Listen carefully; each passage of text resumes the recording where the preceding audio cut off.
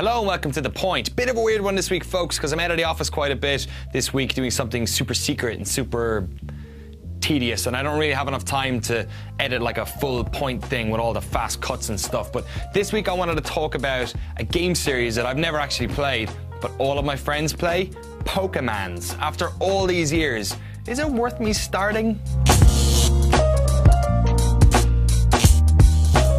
Pokemon, Pocket Monsters, Freak Watsits. Whatever you call them, they're a global sensation. For the past 17 years, they've been entertaining children the world over. Some of these children have grown up to be adults, and many of those adults still play the latest Pokemon's games. But I didn't own a Nintendo growing up, so I had to settle with training my two cats to fight. Sadly, both of them died in a tragic non-cat combat related incident, and I swore to never indulge in any animal cruelty ever again. But this Pokemon looks really fun, and everyone else in the office seems to be loving it. So I did that thing you do when all your friends are playing something and you're thinking of getting in on it. I stood them in front of a camera and asked them stupid questions.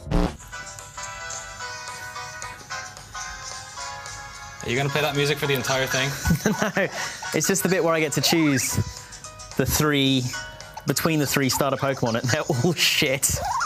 Johnny, did you play Pokemon before? Uh, yes, I played blue and I played yellow, and then I picked up X because I realised everyone was talking about it so much that I couldn't not play it. Cameron, do you play Pokemon? Never ever played Pokemon, Danny. Why don't you play Pokemon like um, me? Because I never really had a Nintendo thing that could play Pokemon on. That's the same reason I never played really? Pokemon. Yeah. Never played it. First Pokemon. Pokemon Yellow. Oh, very, very, very long time ago now, thinking about it. Name a Pokemon. Pikachu. Name another Pokemon. Uh, Snorlax. What do you have in your hands? I have my Game Boy Color, which comes complete with Pokemon Blue and Yellow. Yellow as well. Yellow as well because Pikachu. Uh, the fish one? What's the fish one? I think there's Magikarp. More... That's right. the one. Yeah, yeah. Uh, keep going. Keep trying to name Pokemon. Um, well, I've come over here to play Pokemon because when you Street Pass with the new Pokemon, you get more Pokemiles if you're Street Passing with people who are from further away. Really? So I'm listed in game as being from California. Right. So if I Street Pass with people from London, I'm getting loads of Pokemiles I can use to buy rare candies and such. Peak, Pokemon. Uh, no, I don't know anymore. Raichu. What is so good about Pokemon? It's not the story, because it's just catch all the cute things.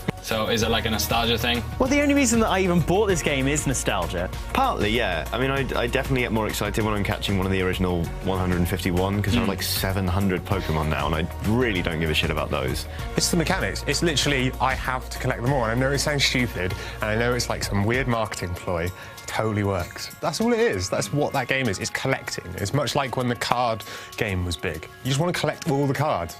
Why? They're just pieces of card with fake animals on them. There's no need for it, yet you do it, right? And it's just, it's that compulsion that makes that game great.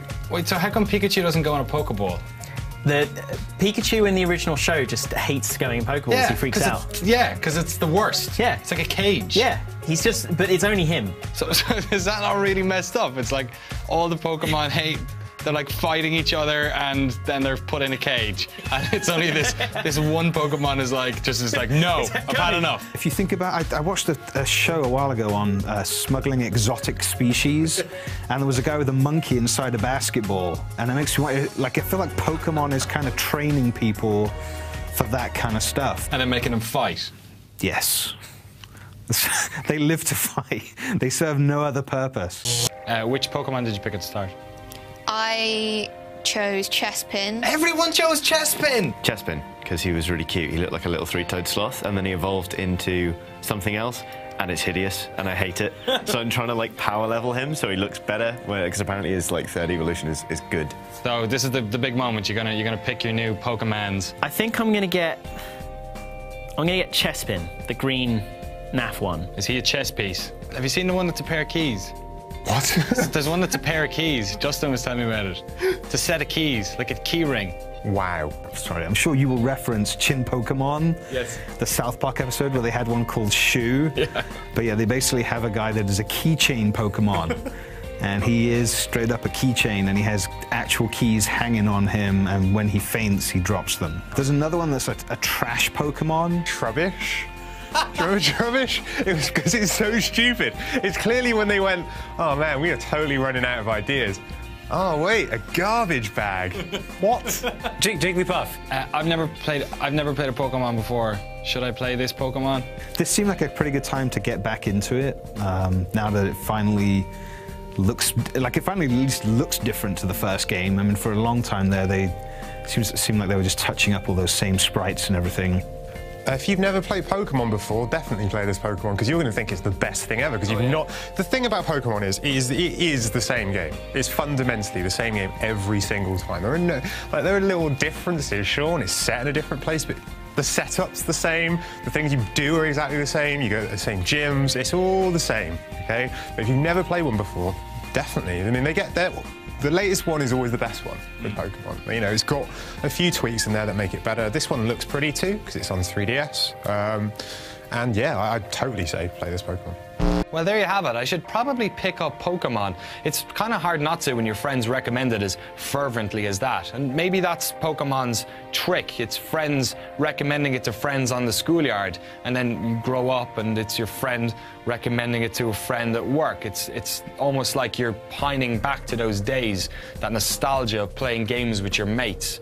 And that's a really powerful feeling. I hope this episode wasn't too strange. Apologies if it was. I've been rather busy uh, this past week. In fact, I just came back from my secret mission, which was at the US Embassy. You see, I picked up a visa because I'm going to be working in San Francisco from now on with our US colleagues. I'm moving out in a couple of weeks. So, yeah, maybe I will pick up Pokemon and give it a blast for a little bit of a time while I'm here. So, in the future, when a new Pokemon comes out, I can play it and remember good times, nostalgia, playing video games with dear old friends.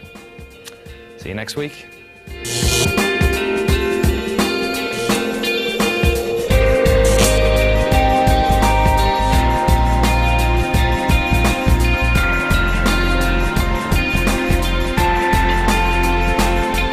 My brother, when he was maybe eight, really wanted to go to Japan. I was like, why? He's like, because Pokemon are real. Oh. And I had to be the guy that said, I don't think they are. And he's like, no, no, no. My friend from school went to Japan. He saw a Squirtle. and I was like, you sure it wasn't just a regular. Terrifying. Yeah, Imagine seeing a Snorlax.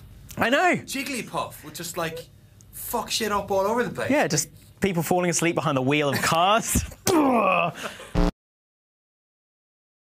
Bulbasaur. Yeah. Um,